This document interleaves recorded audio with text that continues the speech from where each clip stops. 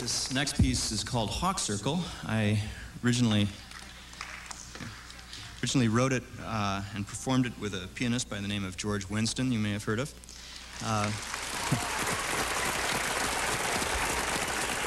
there is no piano on stage, and we don't need one. Uh, we have with us tonight a man who has come to be known as the guitarist from another planet. If you would welcome, please, Michael Hedges.